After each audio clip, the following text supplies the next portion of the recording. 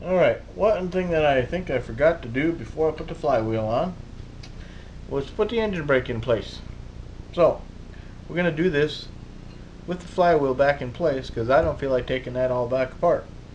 So the first thing I want to do is to take the brake and squeeze it until there's a couple of holes here that will line up and you'll see up here the brake pad is pulling away and I put a little nail in that hole and that will hold the brake pad uh, out of my way. So we take the two screws out that we left in.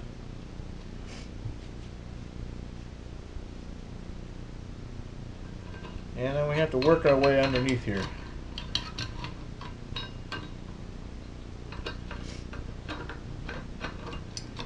There we go. Keep the wire out of the way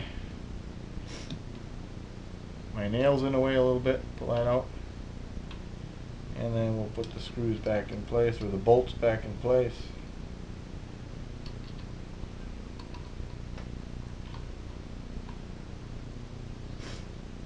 And these bolts are 3 eighths.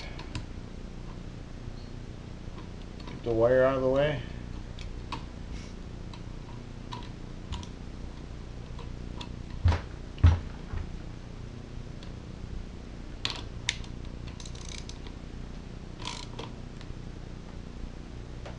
Snug those up, good.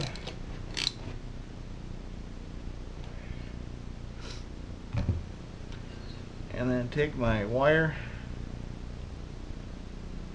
and plug it in to the ignition where it belongs.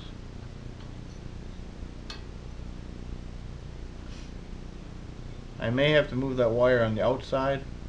I can't recall offhand, but uh, we'll keep that in mind when the time comes.